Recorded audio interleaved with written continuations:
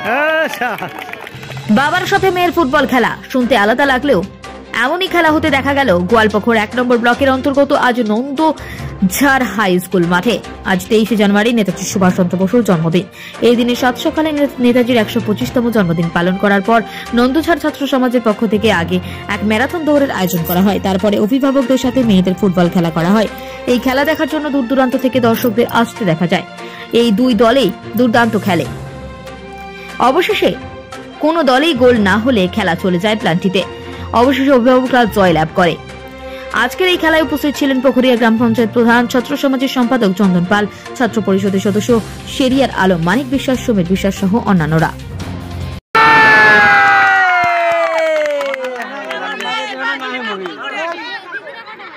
দাদা গোল দেবে দাদা গোল। দেবে দাদা গোল দাদা দাদাটা যেন করা হয় দাদা কর চামড়া দাদাটা কর দাঁড়াটা করছি রে। সে